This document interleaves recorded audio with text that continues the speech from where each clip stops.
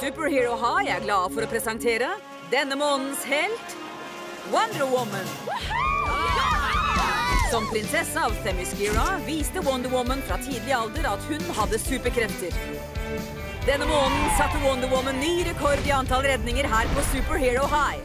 Du reddet meg, min helt. Hun er supersterk!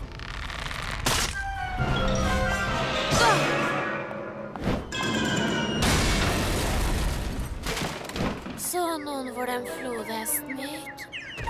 Å ja, hun Wandy er en superduper venn.